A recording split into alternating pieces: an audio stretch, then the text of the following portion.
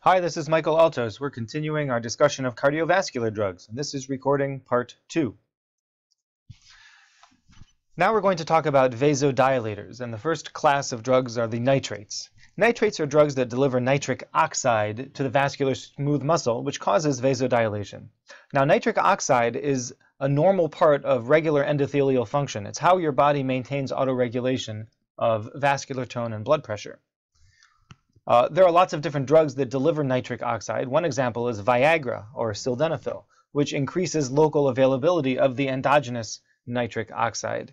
Uh, this substance, nitric oxide, can also inhibit platelet aggregation or activation or adhesion. And nitric oxide is also rapidly inactivated by hemoglobin. And interestingly, this might explain why it is that patients who have an intracranial bleed like a subarachnoid hemorrhage develop vasospasm because all of that free blood and free hemoglobin binds up the nitric oxide and prevents uh, the endothelial smooth muscle from relaxing, leading to vasospasm. Nitric oxide can be delivered in an inhaled form, and in that case, it acts as a selective pulmonary vasodilator. It causes bronchodilation, it improves VQ matching, and this is very useful in patients who have severe pulmonary hypertension or adult respiratory distress syndrome or acute lung injury. Uh, the nitric oxide combines with hemoglobin, as we said, and it forms methemoglobin. And for that reason, patients on inhaled nitric oxide therapy need to have their methemoglobin levels monitored carefully. Patients may also take oral nitrate medications. These include isosorbide, mononitrate, and dinitrate, known by the brand names Imdur and Isordil.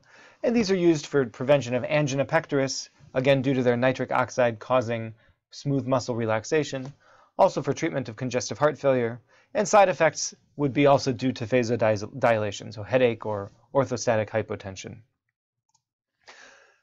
The two drugs we're going to focus on primarily here are IV drugs. The first is nitroglycerin, which is primary a, primarily a venous dilator. As you can see, this drug has three nitric oxide molecules attached to it, and the nitric oxide is then released through a glutathione-dependent pathway that cleaves these substances. We can use it in order to deliberately lower blood pressure at a surgeon's request during a during a intraoperative procedure. It's not as potent as sodium nitroprusside, which we'll talk about next, but it is um, an option for controlled hypotension. We do expect to see some reflex tachycardia as the blood pressure comes down. Because of the vasodilation, we expect to see cerebral vasodilation, which can increase intracranial pressure and cerebral blood flow and lead to symptoms like headache. You may be asked to administer nitroglycerin in the obstetric setting.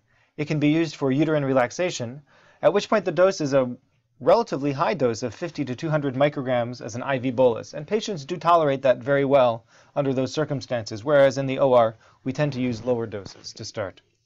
There is some risk of methemoglobinemia with nitrates like nitroglycerin, but it's relatively rare because it's rapidly metabolized in the liver. Uh, just a reminder that the treatment for methemoglobinemia is, of course, methylene blue. So nitroglycerin can be given by many different routes. It can be given sublingually or transmucosally, and the advantage of that is we avoid the first pass effect because absorption through those structures will uh, drain into the superior, not the inferior vena cava, thus bypassing the liver.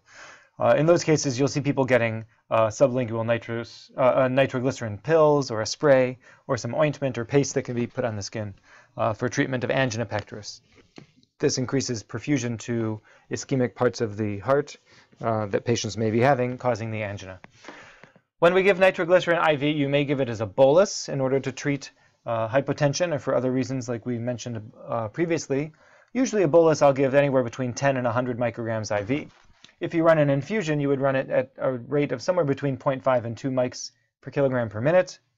There is some possibility that it absorbs into plastic tubing, and so we recommend that when you spike the nitroglycerin uh, bottle, that you run about 10 cc's out through the tubing into the garbage um, in order to bind up any plastic binding sites.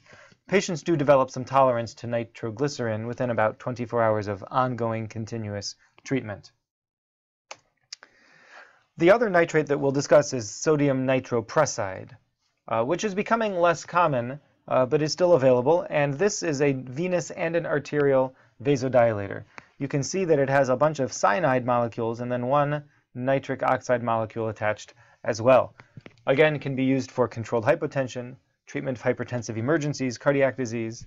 We expect to see the same kind of reflex tachycardia, the same cerebral vasodilation and um, cerebral blood flow. Uh, they say that sodium nitroprusside can attenuate your hypoxic pulmonary vasoconstriction because of its vasodilator properties and may even cause some coronary steal syndrome, whereby it dilates healthy blood vessels but does not dilate diseased coronary blood vessels, thereby shunting blood away from the section of the heart that may be most at risk. The concentration of sodium nitroprusside is the same as nitroglycerin. It's a 250 milligrams in a 250 milliliter um, container. So that's 200 mics per mil. And the starting dose is about the same also. They say about 0.3 to 0.5 mics per kilogram per minute to start which is usually about 10 mils an hour. And that's a good rule of thumb for these nitrates is if you're not sure where to start them, just run it at 10 mils an hour and then do the calculations when you have a moment to check. The onset is almost instant and a bolus is not usually needed. These drugs um, then last for anywhere from 1 to 10 minutes after you've turned them off. Uh, you titrate it up in increments, usually to a final dose somewhere around 3 mics per kilogram per minute. You can go up to 10 mics per kilogram per minute, but they don't recommend doing that for longer than 10 minutes. Um, if you're going to be running it for longer, they recommend capping around 2 mics per kilogram per minute. Sodium nitroprusside breaks down in light, and so you'll see that the IV bag is usually wrapped in some sort of black plastic or foil, and even the IV tubing should preferentially be kept out of the light. We should definitely use continuous arterial blood pressure monitoring when using nitrates.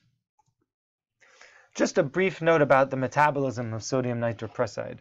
Uh, this is uh, some of this is important for you to realize, which is really that it's all about the cyanide. Uh, cyanide is toxic, and as we saw from the picture before, there's a lot of cyanide that's released when we administer sodium nitroprusside. Now, what your body does with cyanide is it sequesters it. Your body has a form of hemoglobin called methemoglobin, and methemoglobin is very good at soaking up cyanide, and it, it creates something called cyanomethemoglobin. And about 1% of your hemoglobin is naturally methemoglobin, so it's there and ready to sequester cyanide. The cyanide then goes to the liver and the kidneys. It's converted to thiocyanate by an enzyme called, called rhodanese, uh, which requires sulfur, usually thiocyanate, and then it's excreted in the urine. Now, if your body can't manage that, you develop cyanide toxicity, and that's what we just need to be aware of. And this is in bold because you do need to know that sodium nitroprusside can cause cyanide toxicity, especially if your liver isn't working 100%. Um, if you have any suspicions that a patient on sodium nitroprusside is developing cyanide toxicity, you don't wait for lab results, you treat it right away. Um, the earliest sign would be acidosis, and that's because uh, what cyanide does is it gets into your mitochondria and it inactivates your cytochrome oxidase. So your oxidative phosphorylation can't occur. So basically you have lots of oxygen available, but your mitochondria are unable to use it.